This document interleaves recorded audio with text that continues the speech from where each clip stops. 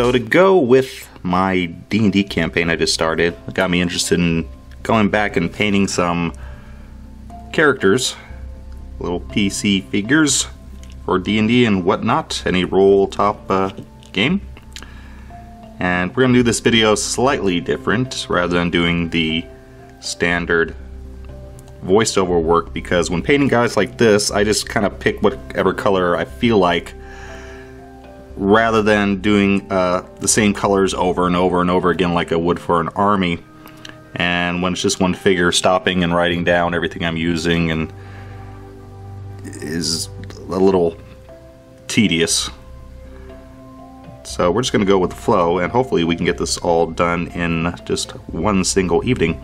So we have a Reaper figure here. This is a Ranger. I don't know the, his exact name. I'll, it'll be in the title. But all primed, black as usual, and we're starting off with some Vallejo flat earth on his padded armor.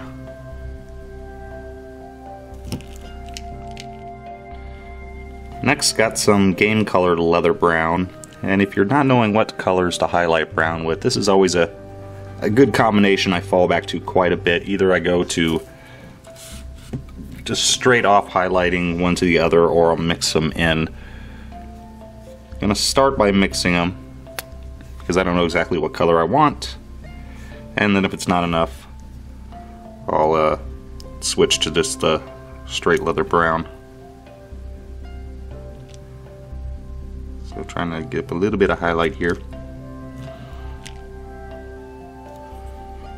going to be to be relying on a lot of washes on this guy because he has a whole lot of details or items, I should say, on him, especially on his back.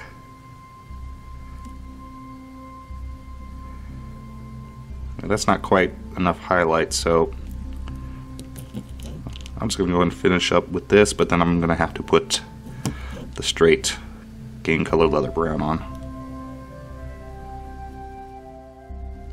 Alright, about 30 seconds later, so switching to just the game color leather brown now. Previous layer just leaving as a little extra highlight, not one that I planned on. But again, the good thing about doing one-off figures like this, I could experiment stuff like that. If I was painting 10 of these guys, I would have to go back from the, the beginning and um, basically cancel out that previous mixture I just did. Because if I'm painting 10 of them, I won't. I don't want to have to do that mistake nine more times.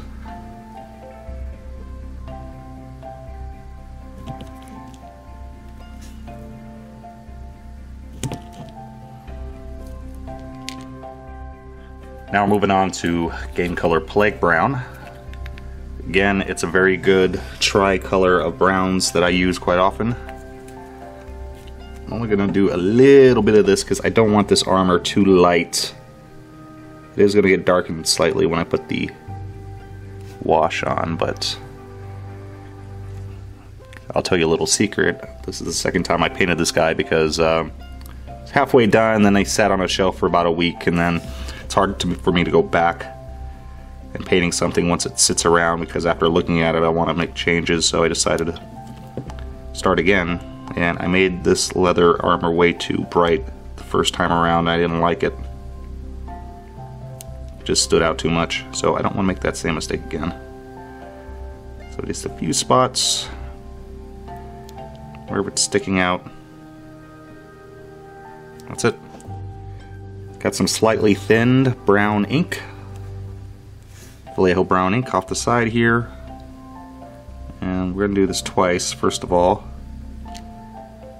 Slightly overall shade. Mainly concentrating, uh, well, mainly concentrating the cracks here, but if it gets all over, I'm okay with that. So as I did say previously, I do want this to be a little darker.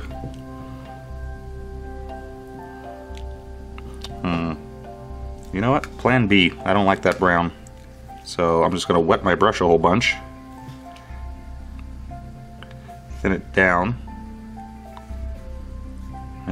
Absorb it back off the miniature. And this works fine, I just got to be careful not to soften and take off the paint that I already did. Let's try this again with some sepia. I think I'll like that color better. The brown is a bit too red. Okay, plan B. Going to sepia now, slightly thinned. And the reason why, there we go. The brown ink, Vallejo brown ink, has like a little bit of red in it. The sepia has more of a bit of a yellowish, almost greenish tone to it. More yellow than green, but a lot of browns have greens in them. But it matches better the yellow that was in the brown that I just used. So again, try to put it all over, mainly concentrating on those little, between the little ridges here.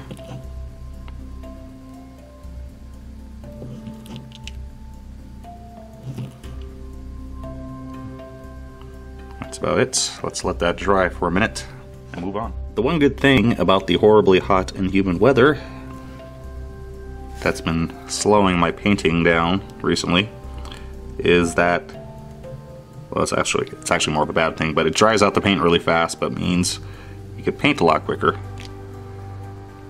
Because the paint on the figure as well as your palette dries out really fast. So don't have to wait long for that first wash to dry and now I'm going over it with a thicker sepia ink less thinned. Was gonna add black to it but don't need it because the thicker works just fine. And we'll add a little blotching to areas where I want a bit more shade along with putting it in the between the little puffy ridges. Boom, there, armor done. Let's move on. On to the cloak. And decided I want to paint it red, a very dark red. So starting off with Vallejo model color black red. And this is going to be our base color. Rather than building up from darkest to lightest, which means I would start by mixing some black in with this color, I'm starting off with the base color because this is a very flat, mostly flat surface area, especially on the back here which means that the shade color is not going to be staying in too many places. And since it's big gaps, it's easier to go in there afterwards and paint the shade by hand. And then in the smaller recesses, we can use a wash. So it helps speed things up a little bit.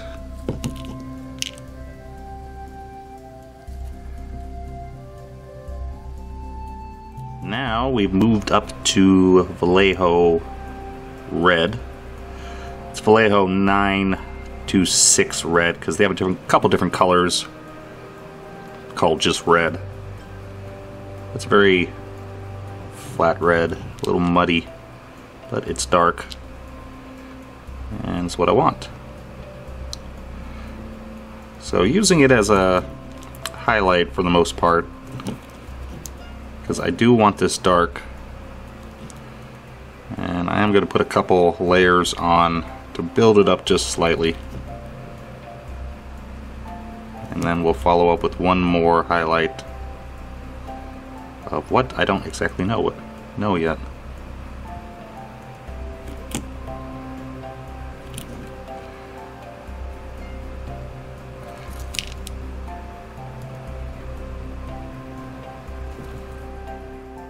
Now I've mixed some Vallejo Game Color uh, Scrofulous Brown? What is this stuff called? Scrofulous Brown. There, that's an orangey, orangey yellow color. It's not my usual color for highlighting red, but I don't want this thing getting too red. I want dark red, so if I add like flat red to it, it'll just become brighter and I don't want it brighter I just want a lighter highlight for the red I already did and I'm just doing this on the top of the ridges and on the ends of the big folds So I don't want to do it, for example, like on, I don't want to do this whole thing here, just a little bit. Because since this color is now not really too red anymore, I don't want to overdo it because then the cloak's not going to look red. And the highlight color will no longer be the highlight color, it will be the base coat. Which, I mean, that's exactly why you don't want to over highlight things. Put the highlights everywhere because then it starts, you know, you change your base, co base color. I think we're gonna have to do one more highlight on this though. Just on the very edges, because I am doing this a bit more than I originally planned. But it, it is a nice color.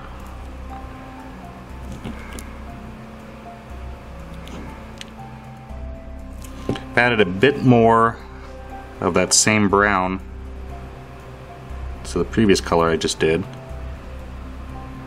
And now just a few small highlights here and there.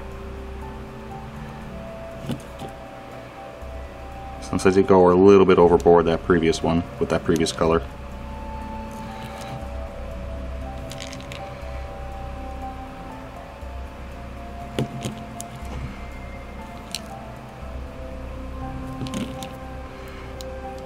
That's about it.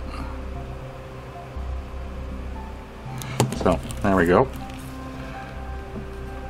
Got some nice highlighting there without going too far into the bright red territory. Now I have a mix of brown and black ink, brown with a little bit of black. And gonna take care of the recesses. And I'm not doing an overall wash, I'm trying to paint it in the recesses.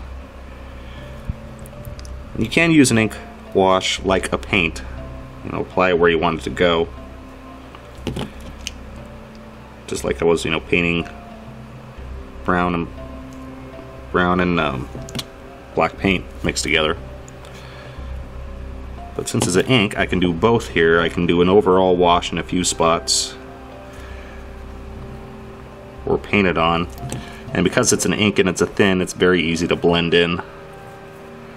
So I could go along an edge here and just let the wash flow through.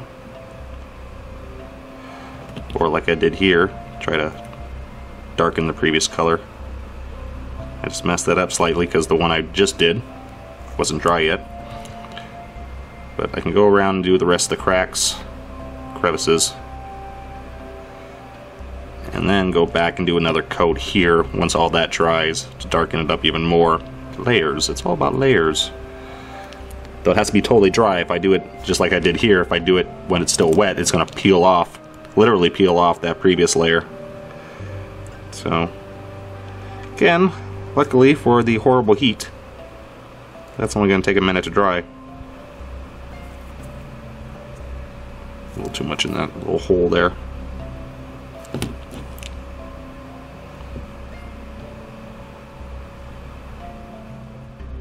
The cloak's not done yet. It still needs a couple more layers, but while it's drying, I'm going to go ahead and move on to something else on the miniature to save time and speed things up. So the good thing about painting indi individual minis is you can reuse colors on your palette since you, know, you don't have a guide you're following. So I just put some Vallejo Model Air Steel and mixed it with a little of the black ink that I already had and I'm painting in the chainmail. And using black ink instead of black paint ink helps keep the paint thin. It makes it easier to get into all the little chainmail nooks and crannies. Although hmm no that's okay. I want this dark and that's a, almost too bright, but I think I'll put a couple washes on it when I'm done. And that'll be good. And we'll just do a couple quick highlights here, mix in a bit more steel. A little bit more steel. Don't want it too bright.